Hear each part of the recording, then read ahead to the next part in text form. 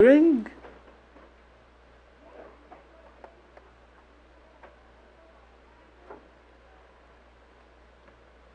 What is the moment of inertia i? It's integral of r squared dm. So you pick a dm and you find its distance from the axis. Now the axis, of course, here we're interested in this, an axis through the center of mass, an axis which is perpendicular to the ring through the center of mass. So if I pick any dm like here, what is the mass? Suppose the total mass is m and the radius of the ring is r. So what is the mass per unit length, lambda? It's the mass divided by the total length, which is 2 pi r. That's the mass per unit length. So if I take a dm, this dm has a length lambda times r d theta, if you like. So you can say dm is lambda times the length of this piece. And the length of this piece is the radius times the angle d theta. Remember, this angle is infinitesimal because this is infinitesimal. So dm is lambda times r d theta. So lambda r, all right, and or let's put for lambda, or from here lambda r is just m over 2 pi. So lambda r is just m over 2 pi d theta. This is dm.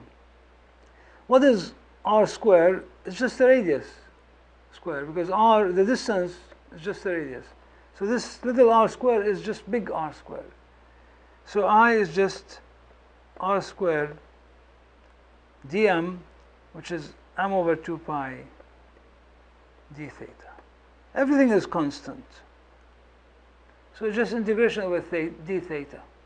From 0 to pi over, from 0 to 2 pi for the ring. So it's just 2 pi. So r squared m over 2 pi, 2 pi. So just m r squared.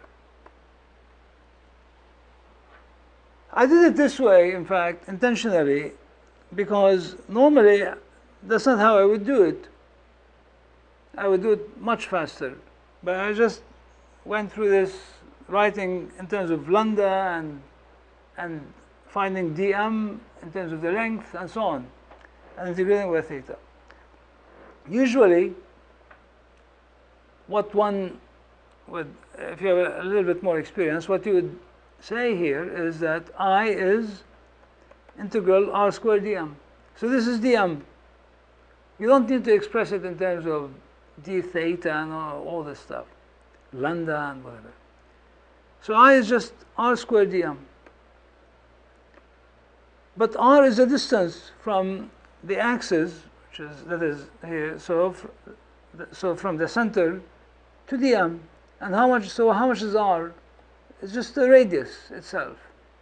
So r squared is just the radius square, which is a constant. So this is just r squared dm. So r squared dm. Now you're just integrating dm. So how do you, what, what's the meaning of integrating dm? So you, you're dividing this ring into infinitely many pieces.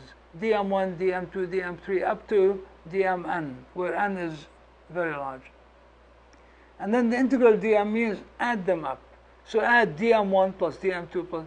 So you, you're, you're dividing the ring into many pieces, and then you're adding the masses of the pieces one by one. So what do you get? The total mass of the ring. Okay, if you cut the ring into million pieces, and then just add the masses of those million pieces, what will you get? The mass of the ring. So it's just the mass of the ring. So it's just m r squared.